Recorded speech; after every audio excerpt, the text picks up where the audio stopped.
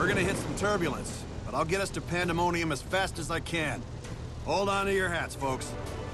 Flying objects incoming. Black... crystals. It's Exia! What are they doing flying out here in the middle of nowhere? I think this is a sign.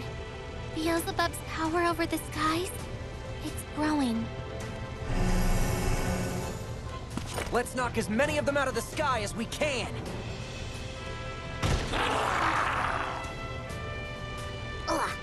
These mooks learn their lesson yet?